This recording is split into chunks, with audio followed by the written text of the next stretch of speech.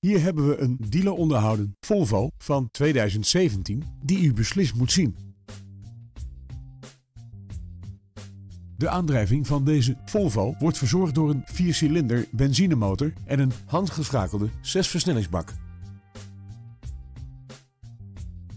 Er is voldoende plek voor u en uw passagiers in deze auto.